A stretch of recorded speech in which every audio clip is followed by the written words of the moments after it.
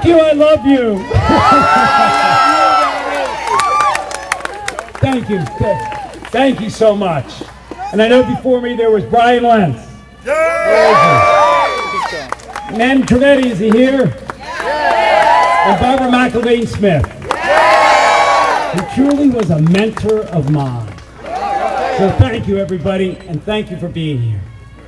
Look, everybody remembers a young senator from Illinois, six days, no, seven, before the Iowa caucus, and he made a speech. He said, Our moment is now to repair the world and to heal a nation. This morning I went down and I started down near the Art Museum. Juvenile diabetes, a cure, a walk for the cure. I just came from an African American church. 28% of African American males.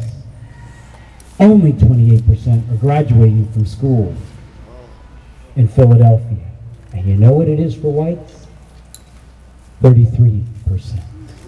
I tell people I remember being on the ground in Afghanistan, head of the Navy's anti-terrorism unit.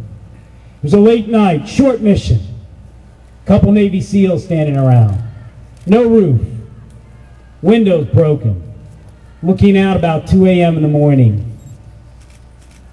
And yeah, the thought goes through your mind. A little bit of repair, and we might not have to have been here. Heal the nation. My gosh. There isn't anybody here who's giving us their time today that doesn't believe that America is special. And believe more than anything else in the ideals of this country. But there isn't anybody here that also doesn't believe that the greatest character in this world, and that's the American character, is this wonderful alliance between rugged individualism that has always been alive with the common good, the common enterprise. We need everybody if this nation is to succeed. I go places, and I constantly think, as I walk through those streets down there, about a story. And I think it might have been President Clinton where I heard it years ago. About a politician that actually went in front of a group, probably like this. They happened to be farmers. And he said to them, if your neighbor's barn had turned down, burned down, and you had two barns, would you let your neighbor store his grain in that barn? And one of the farmers called out, Yes, I would. And he said, If in that fire your neighbor had lost his tractor and you had two tractors, would you lend one of your two tractors to that neighbor? And that farmer yelled out, Yes, I would.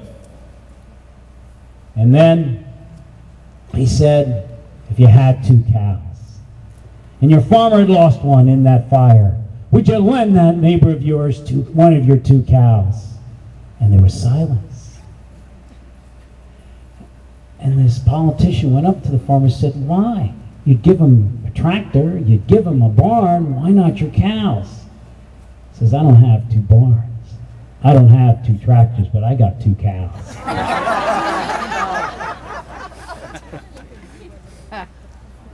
you all have something that's most precious that I'm asking you to give. And that's your time. I need you. Not for Joe Sestak. I've done everything I wanted to in life by 1985. Command a ship at sea. I have been given such a fortune by this nation. Everything from command of that carrier battle to believing men and women into war to serving President Clinton in the White House. I mean, what didn't you like? The peace of prosperity. This is my debt to you to pay back. My daughter was saved by you, and you know it, by the health care plan that I have. I'm asking you to give your time. And that's something hard to ask people today, where their lives have been ripped apart, their livelihood slammed, and they want to hold someone accountable, but they want to believe again. Everywhere I go, everywhere in this wonderful keystone state of our nation, Pennsylvania, everybody I see just wants to believe again. I need your time.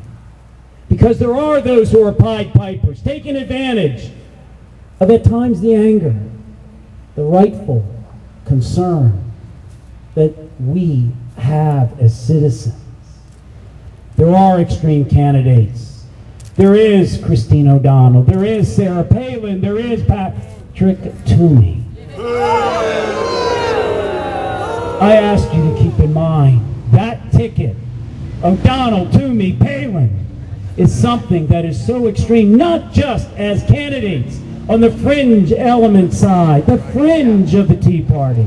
Because I understand the concerns of many in the Tea Party, but that fringe element whose policies are so extreme.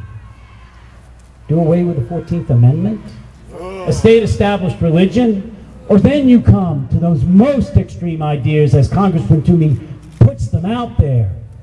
Take our corporations and eliminate all their taxes. 66% of all corporations today pay zero taxes. Eliminate them all. You, it's hard to get below zero. And then take Social Security and invest it in the stock market. But he has an idea for the rest that might still be on some security as he takes the security out of the Social Security for those he invests with the brokers on Wall Street, who then will make billions of dollars in fees. He says we'll borrow the rest from China. There is in his book such an extreme view that he actually says buying American is an unfortunate tendency. Where he actually says that it's a gift to American consumers that China illegally subsidizes its exports to America. This isn't about China.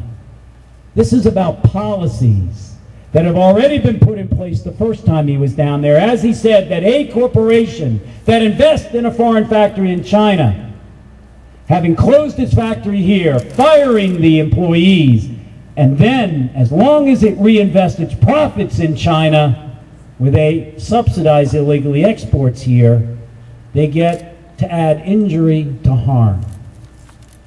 They get their profits to be exempt from all taxes if they reinvest in China. So now, he says, what we must do is eliminate all corporation taxes. I would ask, as I said, for your time. I honestly believe when we stood in front of that National Constitution Center, what a better setting underneath that wonderful beginning of that great peace that set this nation's laws. We the people. Not we the corporations. I need your time. I need it. Not for me. I've done my career. It's over. This is a passion. A passion where, yep, I want to pay back. I figure I've got 12 good years left. Because once I can't run in a parade, I shake everybody's hand. It's term limits for me.